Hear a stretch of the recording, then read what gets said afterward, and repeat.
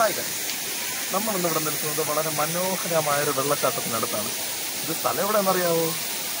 തടിയൂരിലെ അരുവിക്കുഴി എന്നുള്ള സ്ഥലമാണ്. അതെ ആ കാണുന്നതാണ് ഞങ്ങൾ പറഞ്ഞ വെള്ളച്ചാട്ടം. വളരെ മനോഹരമാണ്.